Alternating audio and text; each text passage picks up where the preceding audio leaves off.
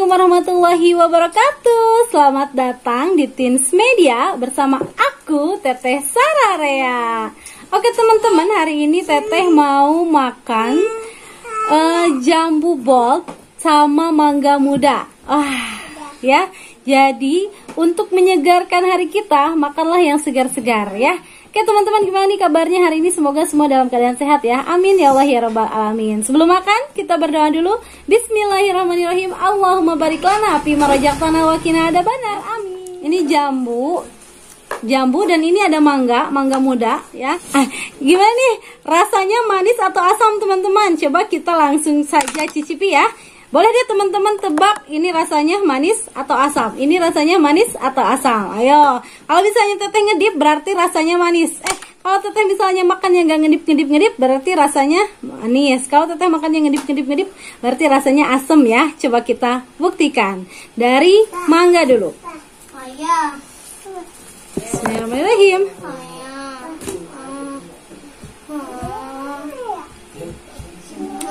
enak nah gitu balik ngomong ya sini ya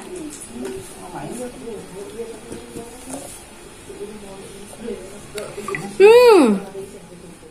Hmm. Nah teman-teman, mangga ini aku beli sekilo dengan harga ribu rupiah saja dan ini satu mangga satu kilo ya beratnya. Oke, kita cicipi jambunya.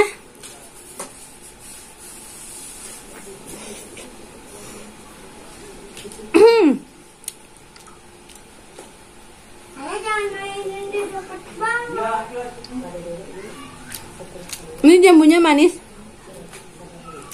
Ada asam-asamnya dikit tapi seger.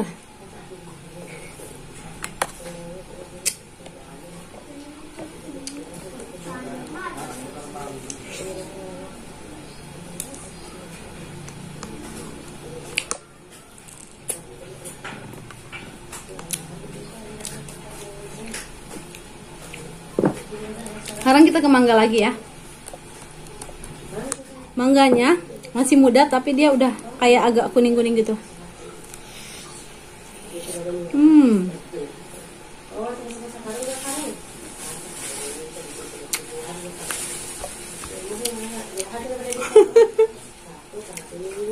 Tapi sampai merem-merem. Asam tapi manis. Gimana sih?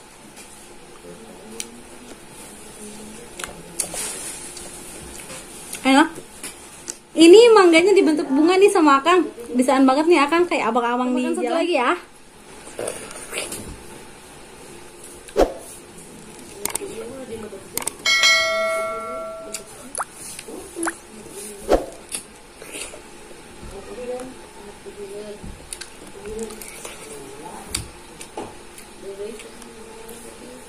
Nah, jadi cara makannya jambu bot ini kita bisa pakai pisau. Tapi dimakannya digigit gini juga bisa langsung ya.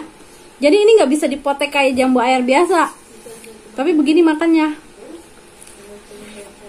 Hmm bijinya jadi teman-teman yang mau makan jambu bot ini meskipun dia udah dicuci tetap aja ada semutnya lihat. Kelihatan gak sih semut nih. Semutnya masih aja jalan-jalan gitu. Padahal ini udah dicuci tadi ya.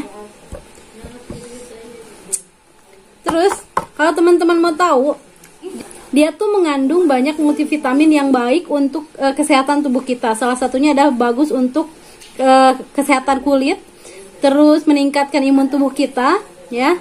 Bagus untuk pencernaan juga. Jadi pokoknya buat teman-teman sering-seringlah mengkonsumsi buah, ya. Hmm.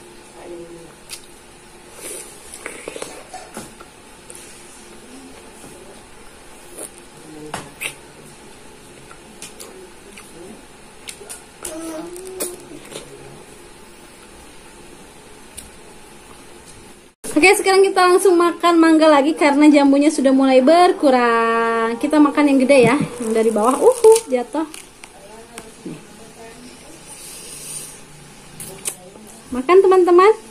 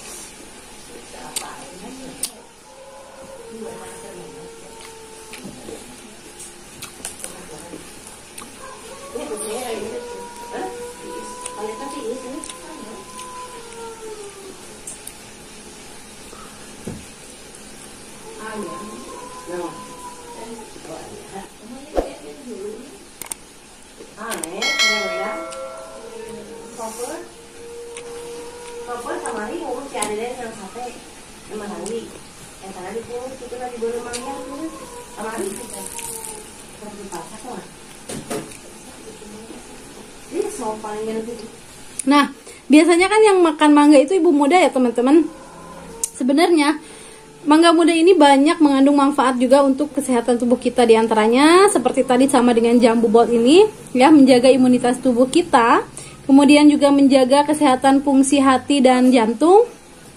Selain itu juga mangga muda ini bisa menurunkan berat badan kita. Nah, yang mau langsing, ayo makan mangga muda. Am.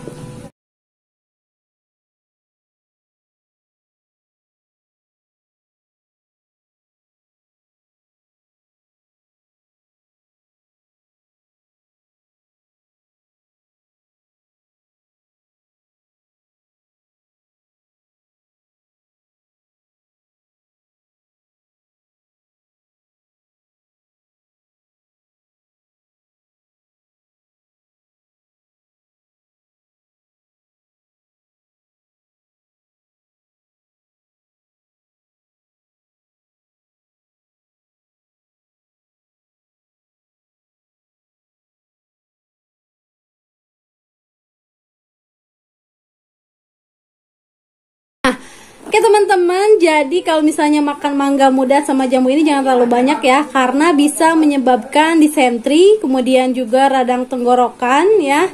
Pokoknya sesuai dengan porsinya aja ya. Jadi setiap hari diatur aja makan buahnya Dan pastinya ketika kita banyak makan buah dan sayur itu akan sehat Bisa kita boleh makan banyak cheating ataupun makan mie, bakso dan lain-lain Tapi tetap harus makan buah-buahan Biar selalu sehat dan kulit kita selalu segar. Oke teman-teman terima kasih sudah nonton Teteh dari awal sampai akhir.